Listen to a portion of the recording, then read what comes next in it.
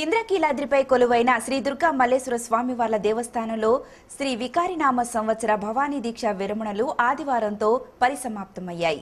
ఈ నెల పద్దెనిమిదిన ప్రారంభమైన దీక్షా విరమణలు దేవస్థాన సన్నిధిలోని యాగశాలలో నిర్వహించిన మహాపూర్ణాహుతి కార్యక్రమంతో ఈ సంవత్సరపు దీక్షా విరమణలు ముగిశాయి.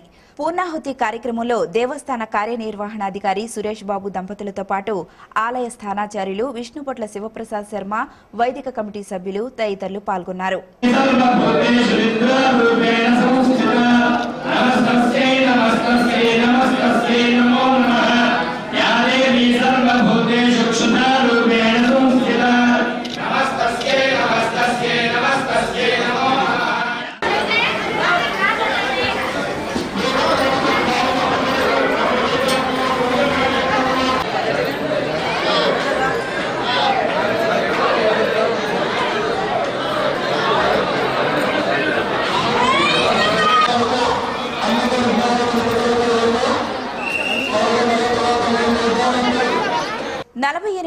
డివిజన్లో రాష్ట్ర ముఖ్యమంత్రి జగన్మోహన్ రెడ్డి నలభై ఎనిమిదవ జన్మదిన వేడుకలు నిన్న ఘనంగా జరిగాయి.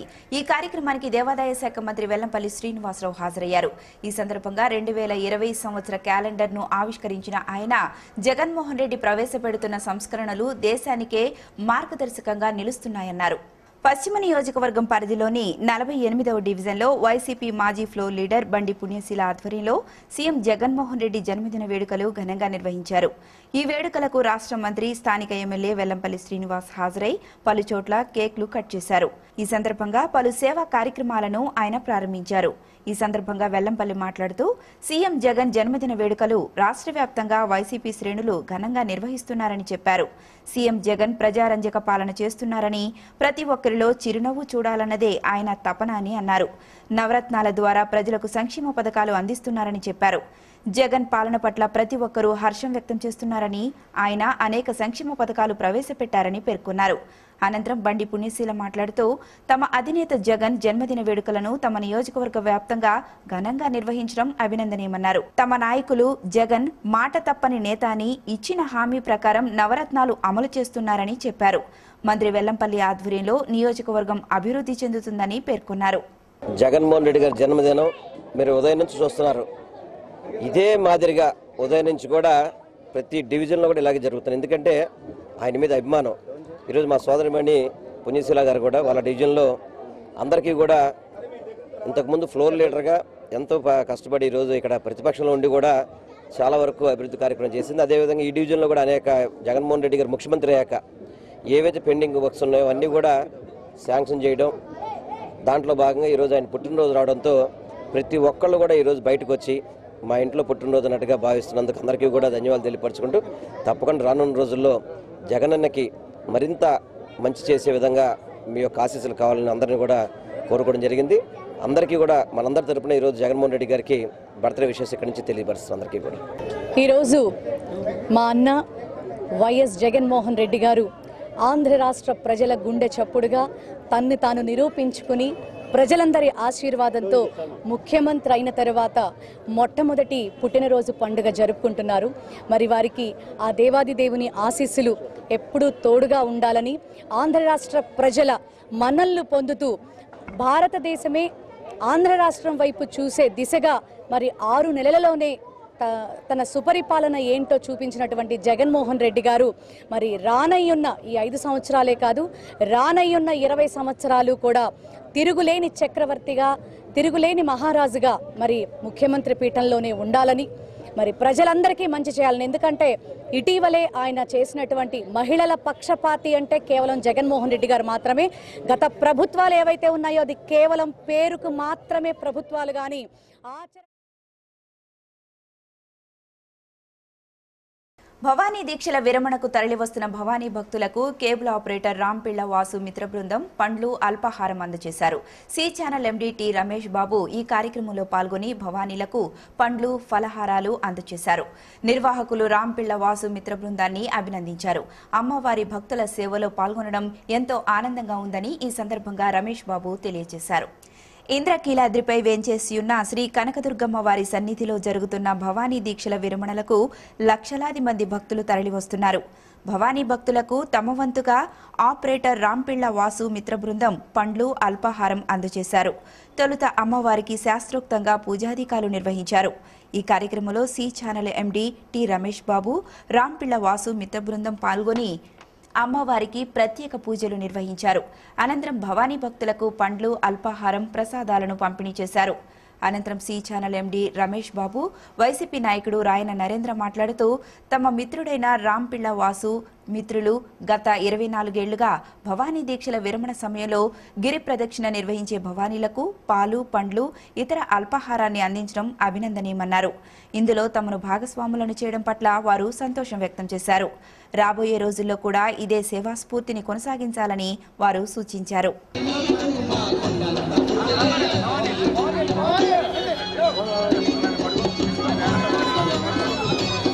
ఎదురాని మాట స్వామి ఎదురా మాకండి. లైన్లో లైన్లో రండి.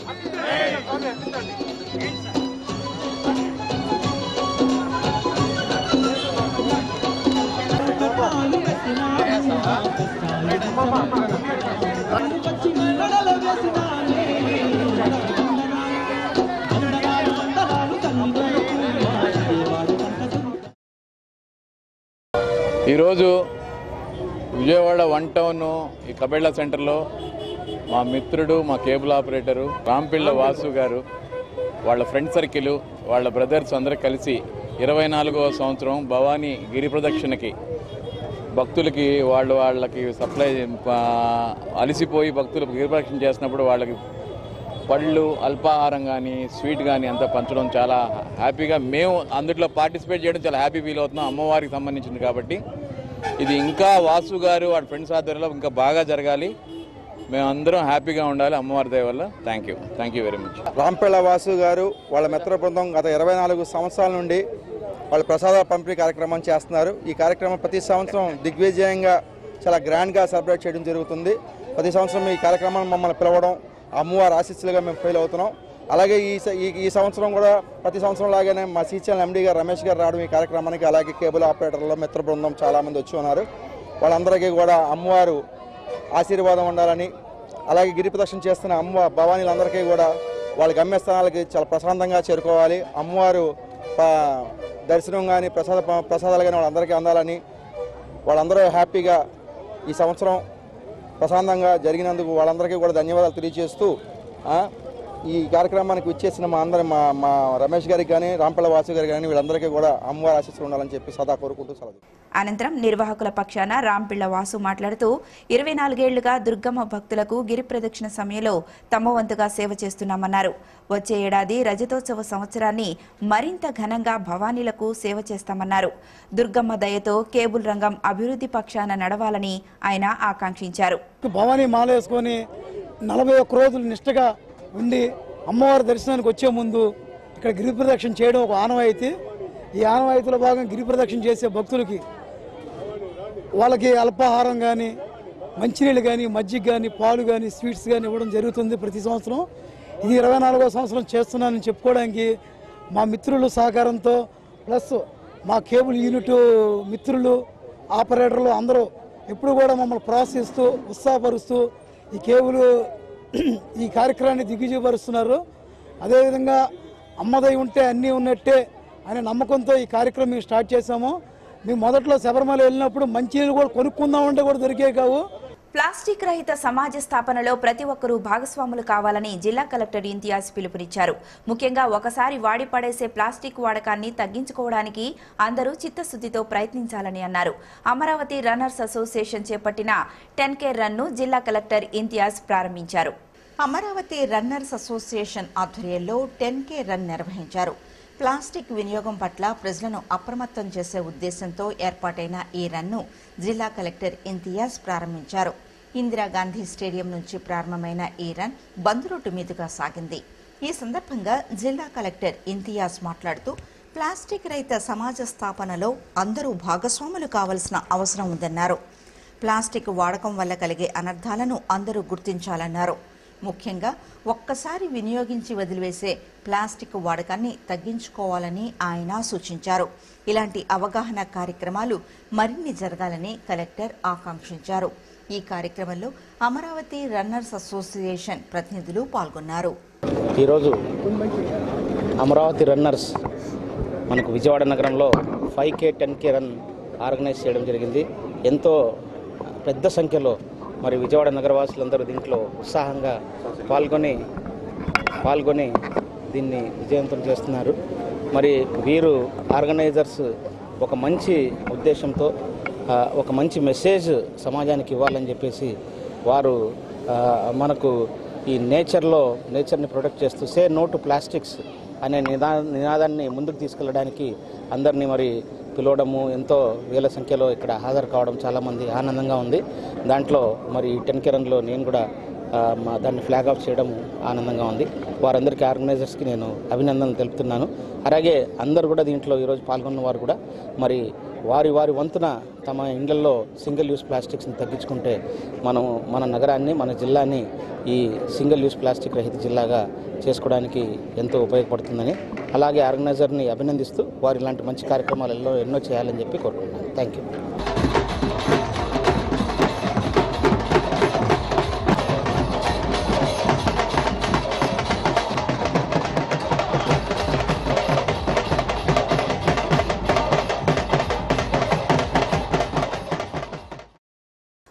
సిద్ధాంతి నిడుమోలు వెంకట సుబ్బారావు రూపొందించిన గ్రహ సంచారం రెండు వేల ఇరవై క్యాలెండర్ను సెంట్రల్ ఎమ్మెల్యే మల్లాది విష్ణు ఆవిష్కరించారు.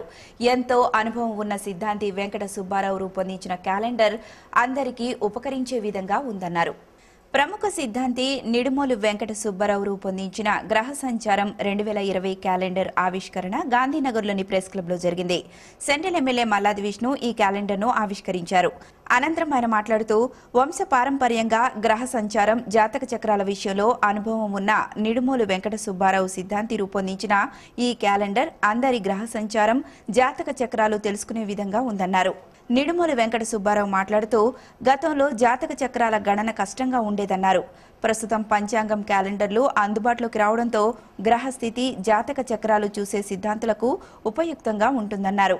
విజయవాడ సత్యనారాయణపురం ప్రాంతంలో ప్రముఖులు వంశపారంపర్యంగా వస్తున్నటువంటి ఈ గ్రహ సంచారం జాతకాలు రాశి ఫలాలు ఇత్యాది విషయాల్లో అగ్రగామిగా ఉన్నటువంటి నిడుమూల సుబ్బారావు గారు రాసినటువంటి ఈ గ్రహ సంచార క్యాలెండర్ని ఈరోజు మనం ప్రారంభించుకోవడం విడుదల చేయడం ఈ కార్యక్రమానికి పెద్దలు అంబటి ఆంజనేయులు గారు కొండ గారు రా- అలాగే చలపతిరావు రవి గారు ఇంకా మిత్రులందరూ కూడా పాల్గొనడం చాలా సంతోషం.